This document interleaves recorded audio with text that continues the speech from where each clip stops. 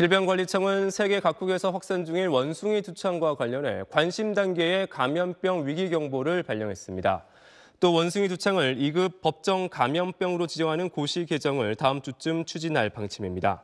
2급 감염병은 전파 가능성을 고려했을 때 격리가 필요한 수준으로 코로나19, 결핵, 수두 등이 지정돼 있습니다. 질병청은 어제부터 대책반을 구성해 해외 상황을 면밀히 살피고 지역 사회 환자 감시, 의심 사례 등을 의심 사례 대응 등을 강화하기로 했습니다.